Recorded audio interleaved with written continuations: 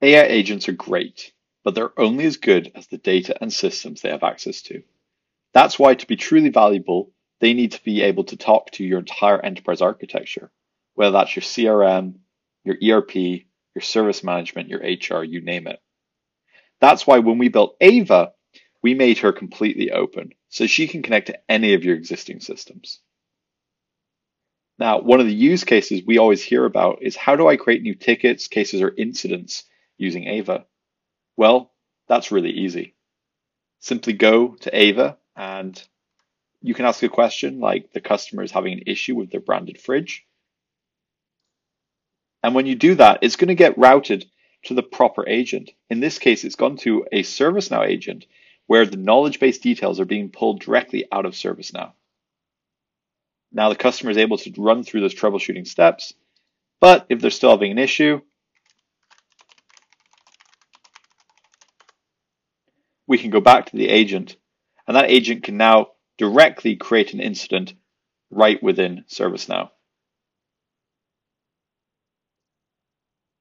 So in a matter of seconds, the service agent via Ava has gone and created that new incident in ServiceNow. If we swap over to ServiceNow, we can see that incident has been created with the right caller, the right urgency, the proper state, and the description saying that the fridge is not turning on. Now I can make updates in here and I could work through the system. So maybe I want to increase the urgency. I want to make it in progress and add a description or note saying a part has been ordered,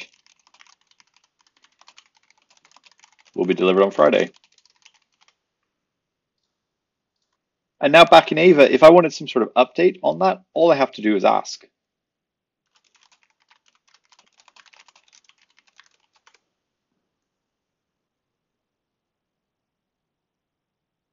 And again, the ServiceNow agent is able to find the incident details and give us the update that we need to inform the customer and make sure that they're kept in the loop at every stage of this incident. So just a really simple example, but again indicates how important it is that your AI agents like Ava can talk to all of your enterprise systems and they're not just siloed onto one particular piece. Thanks for watching.